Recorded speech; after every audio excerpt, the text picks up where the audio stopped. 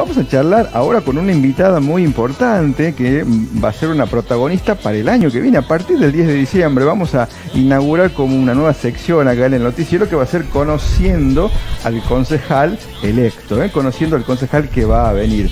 3875 31 62 15 es el número de contacto si querés mandarnos alguna preguntita para que eh, le hagamos ahora a nuestra invitada. En el día de hoy nos está visitando la profe Dai que sacó 748 votos, estaba por el partido Memoria y Movilización Social, em, ganó con una propuesta muy interesante y muy rica que fue repartir, regalar pizzas. Así que la comunidad entera se ha beneficiado con este mm, suculento y rico mm, propuesta de campaña, podríamos decir. Obviamente tiene más cosas, por eso la hemos invitado para que nos cuente y nos charle. ¿Cómo te va, Dai? ¿Cómo andas? ¿Qué tal? Muchísimas gracias. ¿Cómo están ustedes? Espero que hayan tenido un hermoso inicio de mes. Y bueno, aquí estamos, ¿no? Retomando esta parte de la política, porque en realidad fue todo que pasó tan rápido, porque para mí pasó el tiempo muy rápido, ya estamos terminando el año. Y bueno, la verdad que muy feliz, muy contenta, muy agradecida con la gente que nos ha acompañado, porque bueno, como bien vos lo decías, el tema de las pizzas, pero nosotros hemos sido un grupo bastante fuerte en, equipo, ¿no? Agradecerle al, a Gastón Aranda, agradecerle a Eliana Cisnero, agradecerle al Meji Lemos y a todos los que estuvieron acompañándome en la lista y que van a seguir acompañándonos esta propuesta, porque nosotros este, queremos fuertemente seguir y acompañar a la gente sobre todo, que sea escuchada y escuchar a los vecinos, que es una de las principales propuestas que tengo para poder trabajar con ellos en, el, en generalmente con el municipio. Eh, el día lunes, si no nos falla la memoria, fue tu cumpleaños, así que muchas felicidades. sí, sí, sí, sí. Mirá que Willy se comunicó con, conmigo y me dice, Dai, para que vengas al programa. Le digo, hoy es mi cumpleaños, hoy me voy a tomar el día. Así que muchísimas gracias por el saludo. Bueno, también en estos días estabas llevando a cabo una importante actividad con APS. Contanos un poco acerca de eso.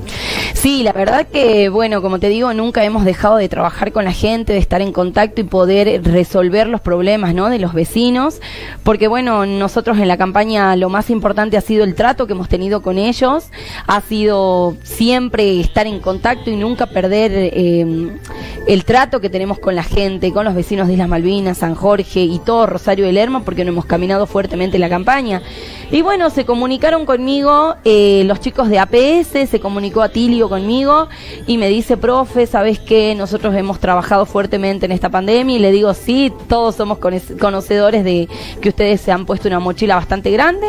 Así que bueno, fue la propuesta de poder brindar la actividad física y recreativa para que ellos puedan distenderse y que puedan sobre todo conectarse con su interior, porque yo me imagino lo que debe ser haber estado trabajando cuando nosotros no podríamos, no podíamos ni salir ir a tomar aire, ellos tenían que estar en la calle arriesgando su vida y la de sus familias. Así que bueno, hemos comenzado los días viernes en las clases, clases de gimnasia, aeróbica, bailes, ritmos a full, así que estamos con los chicos de APS en el mismo salón de APS en la parte de atrás. Ahí vamos a estar todos los viernes, las clases son totalmente gratuitas para ellos. Bueno, qué bueno, importante, ¿no? Esa iniciativa y la actividad física siempre viene bien. Por ahí en la escuela siempre nos decían, una mente sana está en un cuerpo sano, ¿no? Qué importante es, es Así es, una educación integral, eh, buscando siempre el bienestar de la persona, porque por ahí vienen los dolores y vos decís, ¿qué será? Me estoy enfermando y la verdad que uno por ahí las preocupaciones que tienen hace de que todo el tiempo uno las interiorice y realmente después se desencadene en cualquier tipo de enfermedad. Y eso es lo que menos queremos nosotros los profes, así que aquí estamos, al pie del cañón con los chicos de APS. Bueno, dentro de poco, porque el tiempo pasa volando, ¿no? El 10 de diciembre está ahí nomás ya, prácticamente dentro de pocos días, es así, vas a asumir como concejal. Y no puedo no preguntarte por lo que está pasando ahora en este consejo, ¿no? Con el juicio político al intendente, que a, decir los concejales actuales han puesto en evidencia que este intendente es una persona a la que le falta el diálogo. ¿Vos cómo pensás que vamos, van a encarar ustedes, nuevos concejales, a partir del 10 de diciembre con un intendente destituido, con un intendente que aparentemente no intenta dialogar y no se puede trabajar en equipo.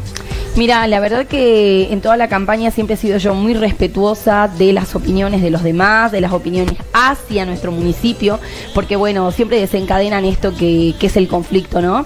Y yo siempre he buscado eh, la parte del diálogo, la parte de poder empatizar desde diferentes sectores, pero bueno, eh, en esta oportunidad yo voy a decir que para mí siempre las cuentas claras van a ser de que los demás puedan eh, estar del lado de la verdad siempre. Entonces, eh, a mí me parece y estoy muy convencida de que el cuerpo de concejales que va a asumir el 10 de diciembre va, va a querer exactamente lo mismo que quiere la ciudad, que quiere nuestro pueblo, que es eh, un diálogo ameno, reflexivo y sobre todo que permita el crecimiento de todos nuestros ciudadanos, porque, a ver, eh, esto tiene que ir más allá del interés que quiera cada concejal, porque a ver, somos diferentes los nueve. Entonces, cada uno va a presentar diferentes propuestas, ¿no? Va a, presentar diferentes y que por ahí uno va a levantar la mano y por empatía con el otro o por apatía de otro va a decir, no, yo no levanto. Entonces, no estoy a favor. Y yo creo que no, no, no, no. Esto del intendente está bastante duro, está muy duro, pero mira, quiero la verdad que yo quiero lo mejor para nuestra ciudad. Entonces, me parece que el intendente tendría que sentarse a charlar, a, si, si tiene que mejorar, hacer autocrítica y ser reflexivo y decir, a ver, hice las cosas mal, está bien, me equivoqué y de acá en adelante necesito mejorarlas. Y si él considera de que no va a ser, no, no se va, no se va a sentar a charlar con ninguno de nosotros después del 10 de diciembre, nosotros tomaremos entonces cartas también en el asunto. Bueno, es importante no saber eso, sobre todo porque esto está en la justicia ahora y la justicia va a ser la que va a determinar si sigue o no el intendente y quizás dentro de los nueve concejales que van a asumir el 10 de diciembre tengamos al próximo intendente. Así es, así es. Entonces, bueno, como yo te decía, ¿no? Eh, yo soy una convencida porque antes de haber sido candidata, soy ciudadana de Rosario del entonces viví toda mi vida acá. Mejor que nadie te puedo decir de que faltan, faltan millones, pero millones de cosas por hacer en Rosario de Lerma, falta un crecimiento desde todos los aspectos. Entonces, busquemos el diálogo, logremos ser un cuerpo armónico de concejales y busquemos el bienestar de nuestros ciudadanos, de nuestros rosarinos, desde los niños, desde los abuelos, los ancianos, las personas que están por que están solas sobre todo porque en esta campaña hemos conocido gente que está lamentablemente pasando mala situación y que bueno nosotros aunque todavía no hemos asumido estamos tratando de poder ayudarlos bueno, es importante eso, ¿no? La ayuda que eh, van a brindar a, las personas necesitadas. Sabemos que por ahí este, hay mucha carencia y que, bueno, no, todo el, no todos están cubiertos por la ayuda del municipio. Así que es importante esto y, y sobre todo, este, bueno, quedan unos meses para, para diagramar lo que va a venir y seguramente ya se sentarán a charlar para definir quién será el próximo presidente. Digo esto porque eh, está ahí la justicia por determinar si sigue o no este, este intendente y el próximo presidente del consejo será el intendente interino. Así es. Bueno, vamos a ver qué es lo que pasa hasta el 10 de diciembre y nosotros, yo sobre todo renovada de energías, porque bueno, esta campaña ha sido bastante ardua, bastante dura, hemos caminado firmemente y bueno, nada, que el 10 de diciembre podamos asumir y buscar el bienestar de todos nuestros vecinos y que sea para bien de todos. Ojalá que sea para bien de todos.